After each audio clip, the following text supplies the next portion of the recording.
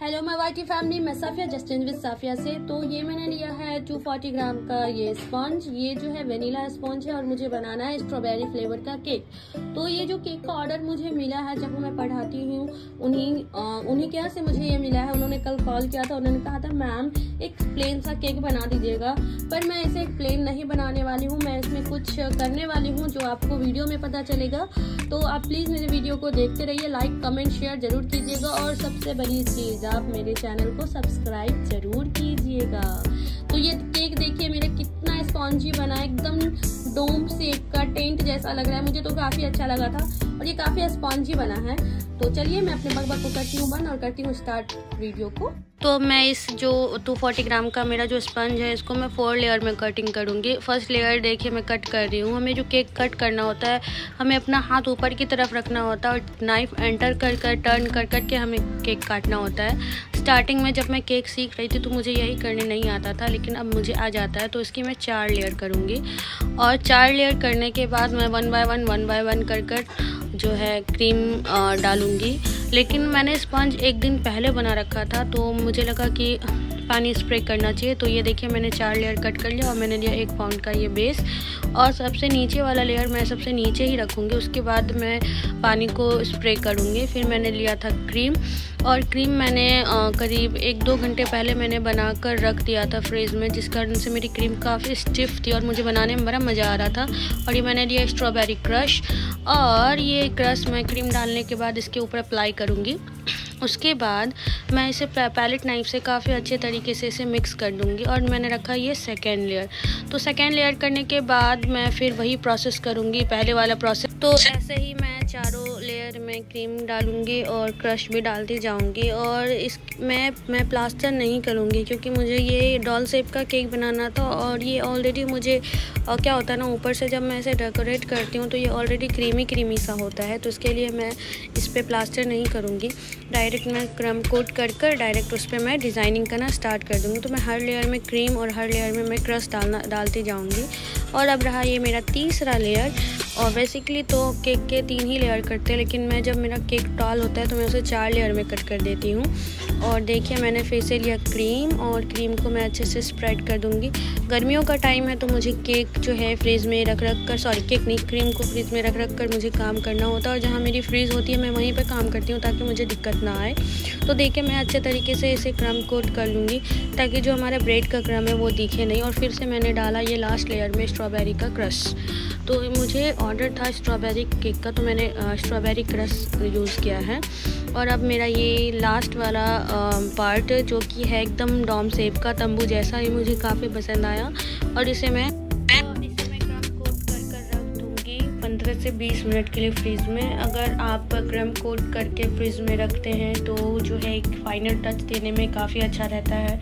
हमारी cake cake जो है फिसलती नहीं है। वरना होता क्या ना, ठंड के टाइम में तो मैं डायरेक्ट ही बना देती हूँ क्योंकि ठंड के टाइम में क्रीम मेल्ट होने का कोई ख़तरा नहीं होता है, लेकिन गर्मियों के टाइम में एक अपने आप में चैलेंज होता है। केक बनाना, जब आपके घर एसी ना हो और गर्मी बहुत हो तो उसमें थोड़ा आ जाती है परेशानी। मेरे साथ हमेशा ही होता है। तो देखिए, मैंने मेरा क्रीम बना कर रखा था। ये क्रीम मेरी कितनी ज़्यादा स्टिफ है, क्योंकि मैं बोली कि मैं फ्रिज के जस्ट बगल में ही काम करती हूँ। मैं अपने क्रीम को वहीं रख देती हूँ और निकाल निकाल कर फिर काम करती हूँ।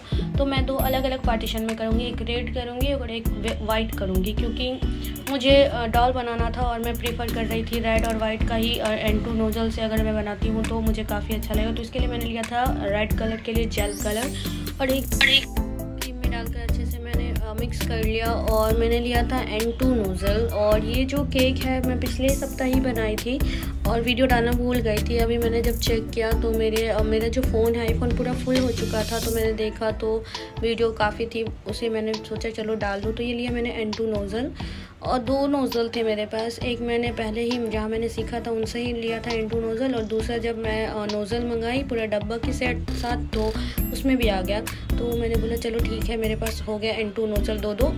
तो मैं रेड कलर और वाइट कलर का एन टू नोज़ल से बनाती जाऊँगी। और ये केक काफ़ी ईजी है, जो बिगनर्स है, वो काफ़ी आसानी से बना लेंगे। जब मैं बना ली तो आप लोग भी बना लेंगे। तो देखिए, मेरा पहला रोज़ ख़राब हो गया वाइट वाला। उसके बाद मैं बनाऊँगी सेकेंड लेयर इसी तरीके से मैं दोनों लेयर को करूँगी कंप्लीट